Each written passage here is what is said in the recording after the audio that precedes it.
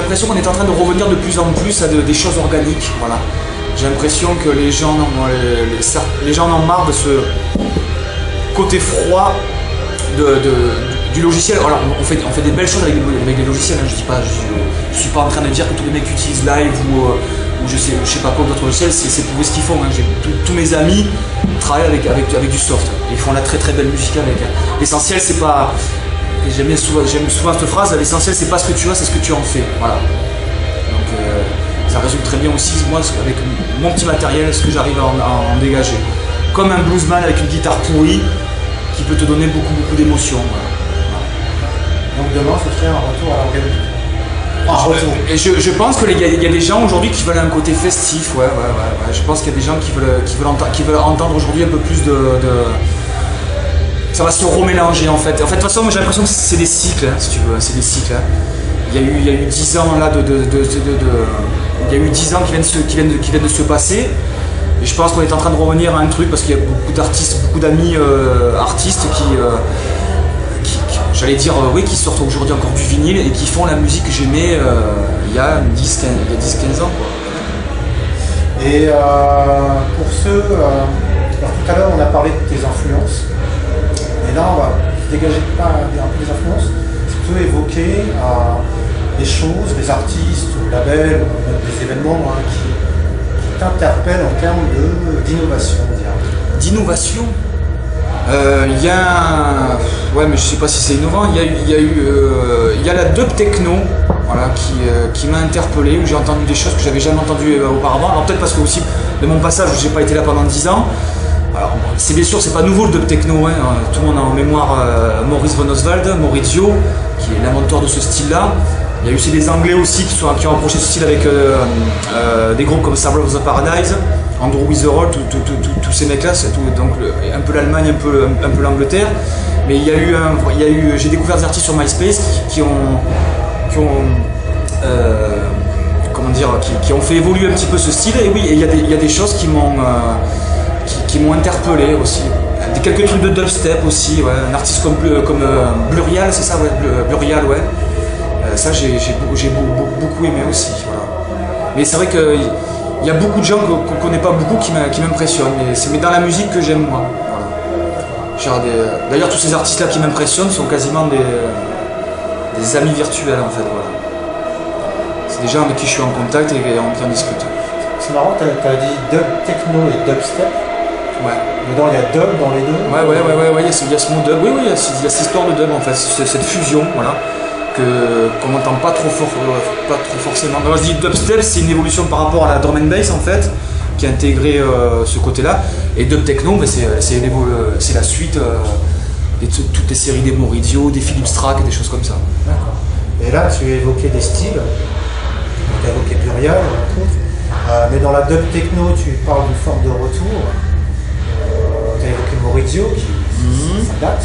Et là, maintenant, il y aurait un, Ah, artistes. Ouais, bien sûr, bien sûr, même plusieurs. Alors, un que j'aime beaucoup et qui est un, un copain aussi, c'est un mec qui s'appelle Jorvin Klein.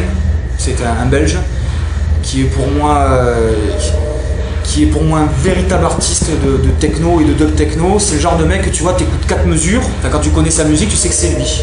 Voilà. C'est, il y a, pareil, il y a un grain et ça, ça j'aime. Ça j'aime de pouvoir, de pouvoir fermer les yeux et écouter un artiste techno et me dire tiens ça c'est cette personne là. Voilà. Donc en dub techno, donc il y a lui, il y a aussi un mec qui s'appelle Flo, qui s'appelle Florian aussi, qui est en, en Allemagne aussi, il y a lui que j'aime beaucoup, qui mériterait, qui d'être un peu plus découvert en dub techno. Euh, maintenant plus dans la house, mon top, il y a un gars qui s'appelle Alex Agor, donc je suis complètement fan. C'est euh, chaque fois que j'écoute une de ses prods, euh, je me dis c'est bon, ben, je vais peut-être vendre ma machine et ça sert à rien de continuer. Mais en fait non, il me donne l'inspiration parce que c'est vraiment tout ce que j'aime, quelqu'un qui est super doué dans tous les styles de musique, quoi. Une, c'est une oreille mais euh, énorme, un maître du sample, euh, vraiment un maître, un maître, un maître. Johan Volk, encore un Allemand aussi, qui lui est dans la lignée d'une techno très très américaine, euh, qui a été signé d'ailleurs, euh, un des rares artistes a été signé sur le, le- la plateforme de Jeff, de Jeff Mills, s'appelle, euh, qui a un, il a un sous-label, j'ai plus le nom. Non, pas Axis, c'est encore un autre label. in the Sky. Hein Euh, Somewhere in the Sky. c'est un, un petit label qu'il a dé- qui dédie à, à des jeunes artistes. À ma connaissance, il y a deux personnes pour l'instant qui ont été, qui ont été signées dessus. C'est un mec qui s'appelle Gonz- euh, Subspace Gonzague, un gars qui habite Lyon. on a fait connaissance aussi sur, sur Facebook et MySpace. Et mon, copain Johan Vol qui ont été là-dessus. Voilà. d'autres artistes que j'ai découverts, il y en a plein en fait. C'est quasiment tous des potes en plus. Voilà. depuis trois ans, voilà. moi j'ai rencontré tous ces musiciens-là, ils sont venus à moi.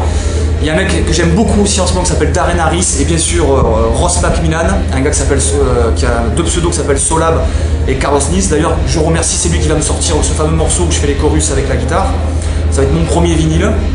Ah, j'ai oublié de, citer aussi euh, Orlando Vourne, qui est, important pour moi aussi. Parce qu'une part du petit succès que j'ai aussi sur internet, c'est un petit peu grâce à lui aussi. Euh, parce qu'il a, euh, normalement, il, va y avoir, il a, monté un label qui s'appelle Divine Record, euh, qui, est spécialisé dans la house. Et normalement, sur le Divine 04, je dois apparaître. Je dois apparaître. Donc il y a aussi, oh, j'ai oublié de le noter, Orlando, pardon. Orlando Vroom, voilà, qui est important pour moi. c'est du lourd là. C'est du très très lourd. c'est du très très lourd. Ouais, j'avais oublié, de le noter. Voilà. Donc en novembre, doit me sortir des trucs. C'est quelqu'un qui joue régulièrement ma musique. Voilà, sur, sur, sur, cette, sur beaucoup de ses mix, j'apparais dedans. Et, euh, et, voilà, et, c'est un des rares, euh, j'allais dire, producteurs du très très lourd qui, euh, bah, qui, qui, pousse au cul des jeunes talents, entre guillemets, voilà, voilà, qui fait des choses. Généralement, quand tu as un petit peu de, un petit peu de, de, bouteille et de, business, bon, c'est quand même tout pour toi et tout. Alors qu'Orlando, il, toujours il a toujours les oreilles ouvertes à 360 degrés et il cherche, il cherche toujours. Alors, des séries, des fois, il, va, il part un peu dans tous les sens, mais euh, c'est quelqu'un avec qui je m'entends, bien et humainement, c'est quelqu'un de très, très chouette. C'est quelqu'un de très chouette. Claude Jung aussi. Claude Jung aussi joue régulièrement aussi mais la musique. Chat, en fait, pour ça, vraiment, Internet, c'est vraiment super parce que moi, ça m'a permis d'être en connexion avec, euh, avec euh, pas mal de gens que j'aurais jamais pu fréquenter. Quoi. Et en plus, des gens qui, quand j'étais euh, jeune et DJ, j'achetais leur musique. Quoi. Et aujourd'hui, ces gens-là me parlent, c'est cool, ça fait plaisir.